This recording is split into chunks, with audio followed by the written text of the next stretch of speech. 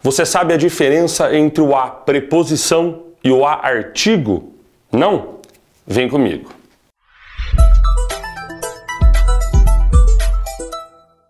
E aí, pessoal, tudo bem? Aula de artigo, mais uma das palavras variáveis. Lembram? As palavras variáveis são as ligadas ao substantivo.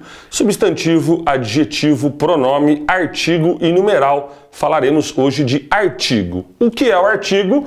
É uma palavra variável, masculino e feminino, plural e singular, que acompanha o substantivo podendo defini-lo. Como assim? A gente vai chamar o artigo, a gente vai classificar esse artigo como definido, o, a, os e as, e o indefinido, um, uma, uns e umas. Por exemplo, você chega na sua casa e alguém te pergunta: é, Viu, você conhece o João? Porque o João te ligou. Quando alguém fala o João te ligou, é alguém conhecido, pelo menos por parte de quem falou. Agora, se sua mãe ou seu pai não conhecem o João, eles vão falar: Viu, te ligou um João aí. Você conhece um João? Esse um João é um João qualquer o João, ele é definido. Então esse artigo, o o ou um, eles estão acompanhando o João, que é um substantivo. Para ser artigo, tem que acompanhar um substantivo. Tanto que o artigo ele pode substantivar qualquer palavra. Se você colocar o artigo antes de qualquer palavra, por exemplo, o bonito, o cantar, você transforma essa palavra em um substantivo.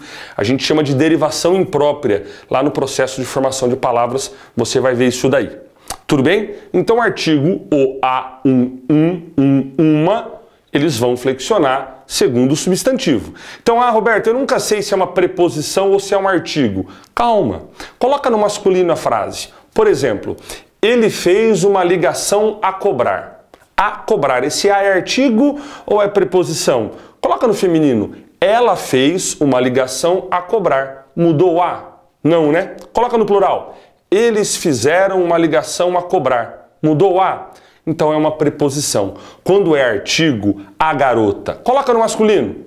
O garoto. Flexionou. Coloca no plural. As garotas. Também flexionou. Se for para o masculino o ou para o plural as, você tem um artigo.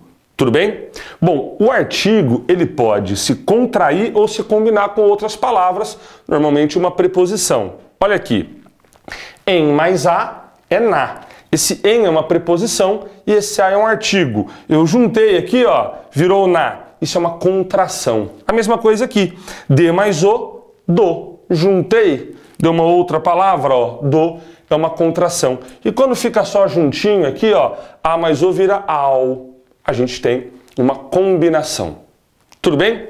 Sempre vai se combinar, Roberto? Alguns casos a gente vai ter que ter um pouquinho de cuidado. Vamos ver agora.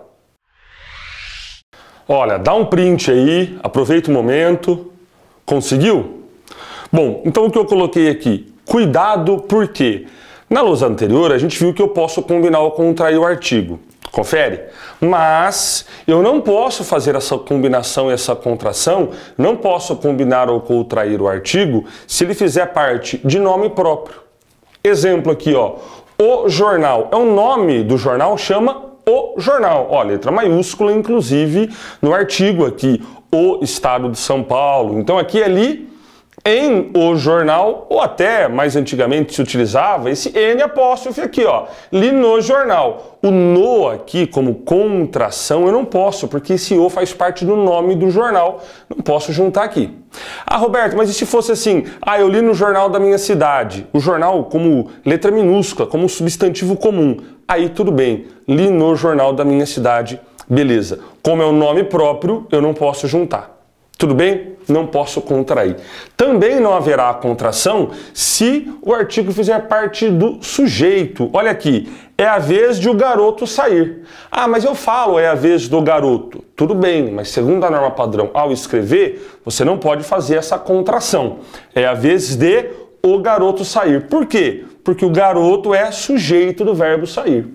Ah, Roberto, mas e se não tiver o sair aqui? Se tiver só é a vez do garoto? Aí tudo bem, é a vez do garoto, ponto.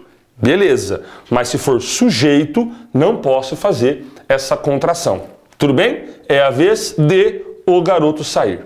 Beleza? vimos mais uma palavra, mais uma classe gramatical dentro das classes variáveis. São aquelas palavras ligadas ao substantivo. Substantivo, adjetivo, artigo, pronome e numeral. Tudo bem? Espero você nas próximas aulas. Um abraço e até lá!